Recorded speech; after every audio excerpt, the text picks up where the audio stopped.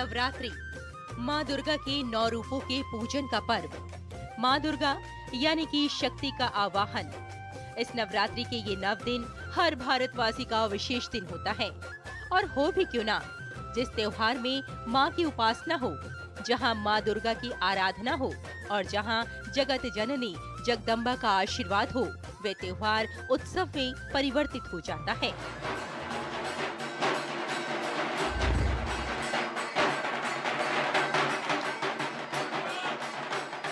सुखी बसे संसार सब। दुखिया रहे न कोई, यह अभिलाषा है प्रभु।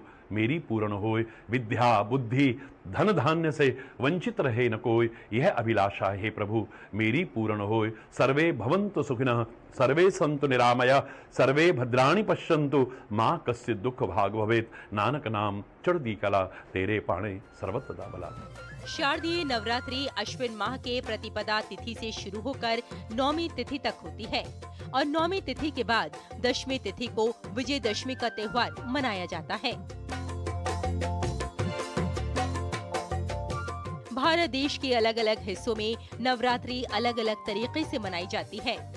उत्तर भारत में घट यानी कलश स्थापना, पूर्वी अंचल में दुर्गा पूजा तो दक्षिण में गोलू स्थापना के रूप में नवरात्रि का पर्व मनाया जाता है।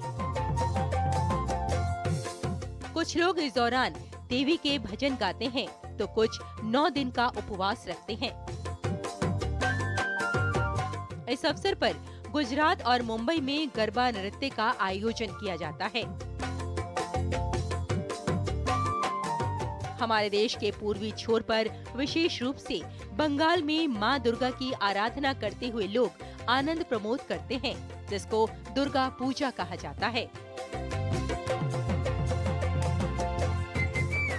मातृ प्रधान संस्कृति है हमारी। हमने तो अपने राष्ट्र के नाम के साथ भी माँ, भारत माता की जय बोली है। पृथ्वी को माँ कहते हैं हम, पशु नहीं, गऊ को माँ कहते हैं हम, नदियाँ नहीं, गंगा इत्यादि को माँ कहते हैं हम।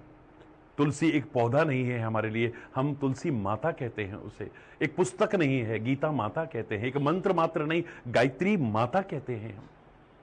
हमारे शरीर को जो बचाने में सक्षम बनाए हुए है, उसको भी आत्मा कहते हैं। उसमें माँ शब्द आता है, जो हमको मार्गदर्शन देते हैं, जिनके बल पर यह दुनिया टिकी है। परमात्मा भी मानव शरीर धारण करके जिनको नतमस्तक होते हैं, उनको भी महात्मा कहते हैं। और उस परम शक्ति को तो परमात्मा कहते हैं। हमने संबंध भी पहला यही तो बनाया है तुम्हें वो माता पिता तुम्हें। बाकी सब बाद में पहले माँ का रिश्ता बनाया है। बंगाल के कोलकाता शहर में अष्टमी की शाम सैकड़ों भक्त माँ के आशीर्वाद की अभिलाषा के लिए उतर आते हैं, क्योंकि वहाँ अष्टमी के दिन होती है दुर्गा उत्सव की सबसे महत्वपूर्ण पूजा, जिसे देखने के लिए लग जाती है भक्तों की भीड़।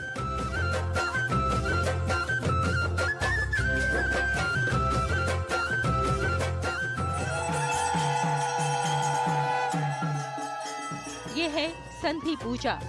संधि पूजा अष्टमी के आखिरी और नौमी के पहले 24 मिनट में की जाती है।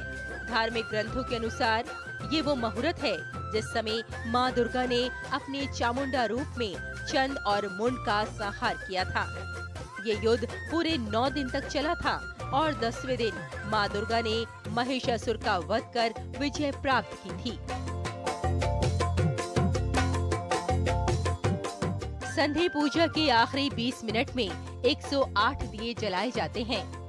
इन दियों को जलाने के पीछे कई मान्यताएँ हैं, जिसमें से एक है, भगवान राम ने संधि पूजा करके 108 दिए जलाए और माँ दुर्गा की पूजा का अनुष्ठान किया।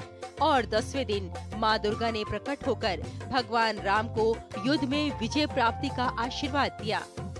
भगवान श्री राम ने दसवें दिन रावण का वध कर रावण पे विजय प्राप्त की।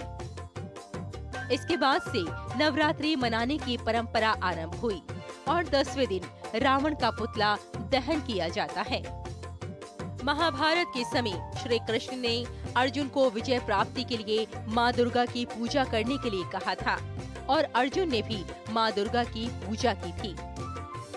अवगत होता है कि सतयुग काल से चली आ रही देवी पूजा की प्रथा आज भी नवरात्रि के रूप में निरंतर प्रवाहमान है। जहाँ संस्कृति और उत्सव मिलते हैं, वहाँ परंपरा भी होती है और उसी परंपरा में है माँ दुर्गा का नवरात्रि। कहते हैं माँ शब्द एक भावनात्मक जोड़ है। माता और उसके भक्तों के बीच, जिसे शब्दों की माला में पिरो पाना असंभव है। इसमें भक्ति का भाव, करुणा और लगाव का संगम है। Bureau report, DD news.